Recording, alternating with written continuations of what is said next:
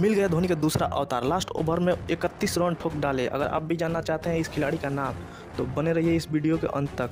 अगर आपको भी हमारे वीडियो पसंद आता है तो एक लाइक और चैनल को सब्सक्राइब ज़रूर कीजिएगा।